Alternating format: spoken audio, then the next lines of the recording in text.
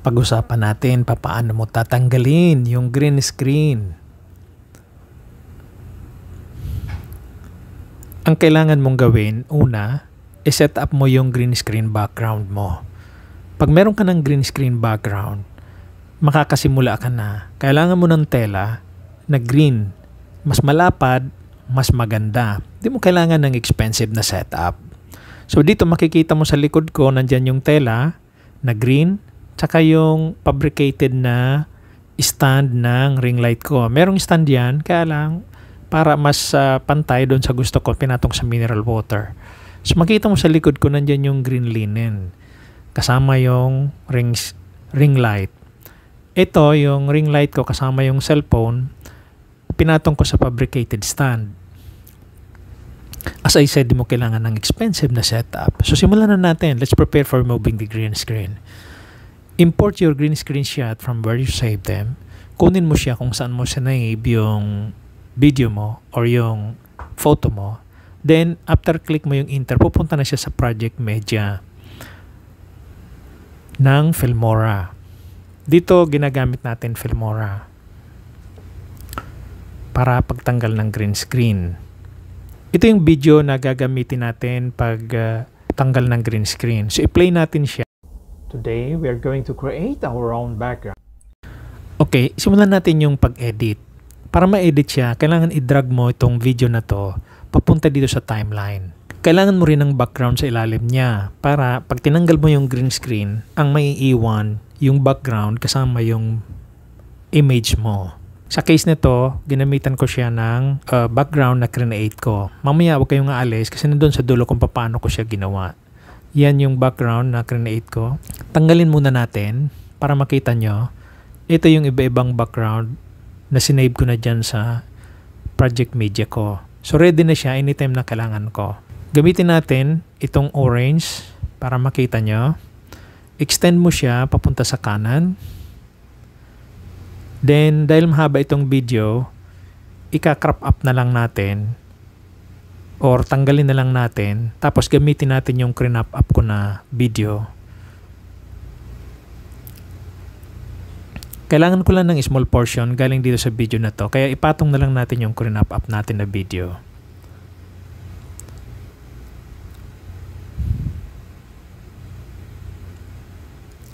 Okay, play natin. To start to remove the green screen, makikita nyo yan. Nilagyan ko ng square mark. I-click nyo yan. Pag once na clinic nyo siya, makikita nyo, gagalaw ka agad yung kulay ng green screen. Pay attention dun sa green screen background. Mawawala ka agad siya. Yan, once you click that, immediately, almost wala na yung green pero napalitan siya ng ibang kulay. So i-enhance pa natin yan sa pamamagitan ng slider. Pero bago natin gawin yun, i-crop up muna natin yung picture or yung video para matanggal natin yung hindi natin kailangan. Kasi sa gilid niyan may mga nakalagay pa na uh, hindi mo kailangan, yung shadow, yung tape or whatever na unnecessary. So kailangan mo lang yung picture mo. Sa likod ng photo mo, nandyan yung background mo na pinili natin, yung kulay orange. Ang next step na gagawin mo, i-adjust mo yung slider papunta sa kanan. Kung hindi mo siya i-adjust, pwede mo ring ilagay sa box directly yung amount of value na gusto mong ilagay. Like for example, 20. I-type mo 20. Diyan sa box. Then, click mo yung enter. Once you click enter, makita mo almost nawala na yung green. Ito naman kung paano mo gamitin yung slider. So, i-adjust mo lang siya dahan-dahan pa kanan until na hindi mo na makita yung green. Pag hindi mo na siya makita, i-enhance mo yung pag-adjust mo ng green sa pamamagitan ng tolerance. I-move mo siya pa kanan ng dahan-dahan for finer adjustment or pakaliwa. So, since na ginawa mong pakanan yung offset, gawin mong pakaliwa yung tolerance. Once na clear na, i-regulate mo rin yung edge thickness. Yan yung edge thickness, yan yung tagiliran ng mga image mo. Yan yung kapal or yung gaspang. So, gamitan mo ng edge feather, adjust mo rin para mas fine yung hindi uh, hindi magaspang yung kulay sa gilid. Pagtapos ka na, click mo yung OK. So on this exercise, gagamitin natin yung photo or video as background. Papalitan natin yung background. Di ba natanggal na natin yung green screen? So papalitan natin ng background. Magkikreate tayo ng background, idadrag natin pababa sa timeline yung image nito. Pwede ring video pero sa case ng example natin, image ang ginamit natin. So, i-reposition mo yung tinanggalan natin ng green screen na background mo, i-adjust mo para mag-fit doon sa window. I-reposition mo siya kung saan mo gusto. Kung saan suitable. I-play natin tong video para makita mo. So, ito yung actual na image kapag wala yung inserted na clip. Ngayon, makikita nyo, pag nilagay natin yung inserted na clip, makita nyo yung difference. Yan. Sa ngayon, makikita nyo yung orange. Ito yung orange na background na ginamit natin. So, i-guide ko kayo paano mag-create ng background. Dito, gagamit tayo ng Paint 3D app and Photos app to create your own background.